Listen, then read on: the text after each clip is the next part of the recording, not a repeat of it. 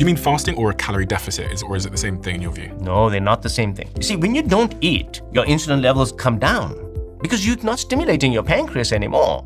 So you want to bring your insulin levels down. The best thing you can do in the world is to do fasting. If I just simply cut down on my calories, then there's a different physiology that's going to take place in the body. When you cut down on calories, the body senses that there's caloric deficit. Your metabolic rate changes, actually slows down.